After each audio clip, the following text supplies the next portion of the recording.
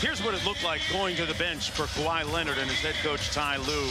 A little conversation there, Mark, and you've got some pretty accurate insights. It speaks to how much he wants to play, right? Absolutely. He tells Kawhi Leonard, that's it for the night.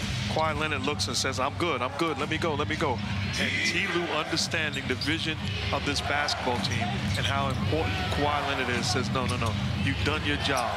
Now, I don't know if he's going to go back to him, but he's sticking true to the game plan of keeping him healthy and whole.